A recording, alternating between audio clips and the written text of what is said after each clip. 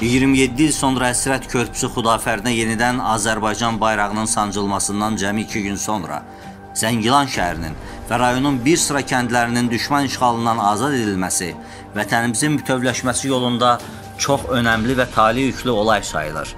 Şükürlər olsun ki, artıq bu il oktyabrın 29-da daha Zəngilanın işğal gününü qeyd etməyəcəyik. Necə ki, günlər öncə bu sevinci Cəbrayıl və Füzuli ilə bağlı da yaşadıq.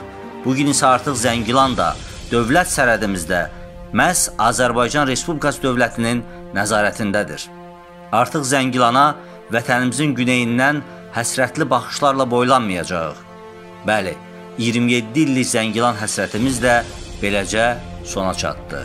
Yəqin yaxın saatlarda Mincivanın da azad edilməsi xəbərini eşidəcəyik.